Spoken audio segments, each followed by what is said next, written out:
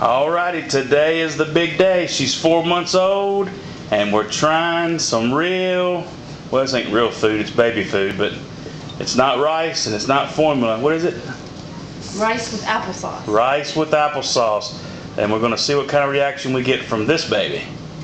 Here we go. What about that?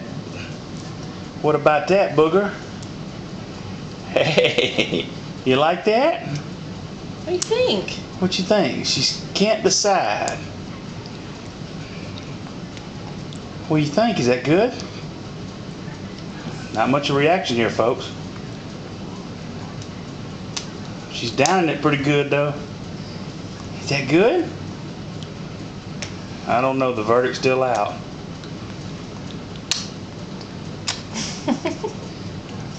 Not much of a reaction there.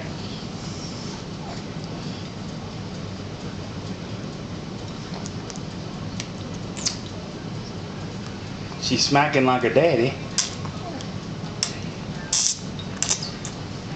I think she likes it. I think she likes it too. She's got it everywhere.